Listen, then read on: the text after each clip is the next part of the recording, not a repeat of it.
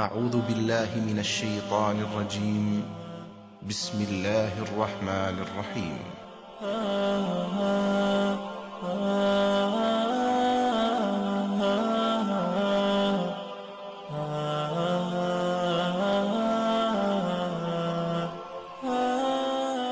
ওয়ালাইকুম আসসালাম রহমতুল্লাহি ওবরাকাত মোহাম্মদ মাহফুদুর রহমান, ভাই, সৌদি আরব থেকে জানতে চেয়েছেন, আত্মহত্যাকারীর বিধান কি?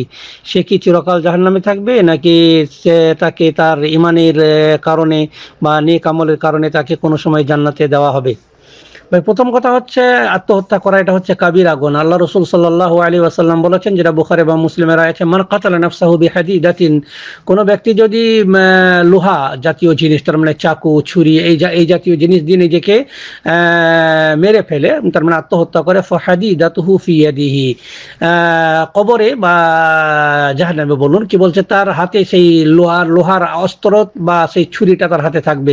ইয়াজাউ বিহা বাতনাহু ইয়াউমাল কিয়ামাতি ফি নারি জাহান্নামা ফিহা আবাদা। কেয়ামতের দিনে সে তার পেটে ওই ছুরিটা ভরবে। যেভাবে পৃথিবীতে সে মারা গেছিল, সেইভাবে সে নিজেকে বার বার বার বার আঘাত করবে। জাহান্নামের আগুনে থাকবে। আর সব সময়ের জন্য সে জাহান্নামের আগুনে থাকবে। খালিদান মুখাল্লাদান ফিহা আবাদা। পরে বলছে আবার, ওমান কাতালা নাফসাহ বিসাম্মিন, আর যে ব্যক্তি, বেসুম্মিন, যে ব্যক্তি নিজেকে কোনো বিষ জাতীয় জিনিস, যে ফলিডল এই ধরনের কোনো জিনিস দিয়ে সে নিজেকে আত্মহত্যা করল, ফাসাম্মুহু ফাসুম্মুহু ফিয়াদি, তার বিষের বোতল তার হাতে থাকবে। এটা হাসাহু ফি নারি জাহান্নামা খালিদান মুখাল্লাদান ফিহা আবাদা। আর সে জাহান্নামে চিরকাল থেকে কি করবে? সে বিষের বিষ পান করবে আর মারা যাবে, পান করবে আর মারা যাবে।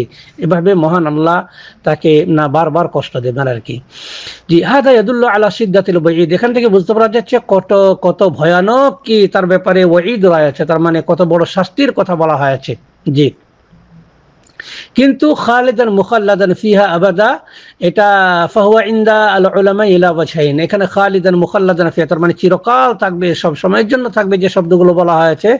এ সম্পর্কে উলামায়ে কেরামদের দুটি মত রয়েছে। আহাদুহুমা আন্না হাদা ফি মান ইস্তাহাল্লা যালিক।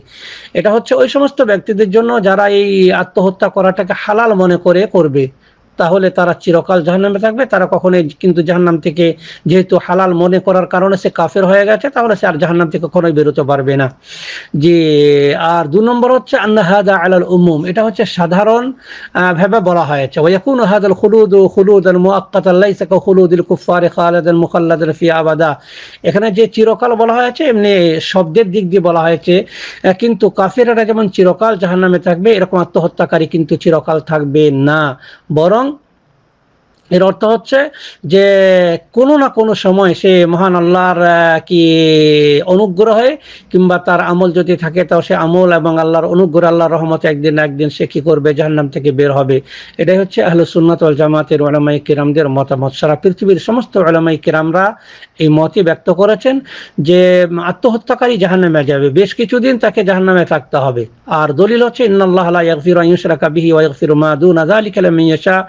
মহান আল্লাহ শিরকের গুনাহকেও ক্ষমা করবেন না, কিন্তু শিরকা ছাড়া অন্য সমস্ত গুনাহকে মহান আল্লাহ কি করবেন? চাইলে ক্ষমা করবেন। এখান থেকে বুঝতে পারা যাচ্ছে যে এই লোকটা সম্পর্কে আশা করা যায়। তার মানে যে ব্যক্তি আত্মহত্যা করল, যে আত্মহত্যাকারী, তার সম্পর্কে আশা করা যায় যে সে যদি ইমানদার ছিল কিংবা তার নেক আমল ছিল, তাহলে সেই ইমান এবং নেক আমলের পরিবর্তে ইনশাল্লাহ একদিন না একদিন কি করবে? জান্নাতে যাবে।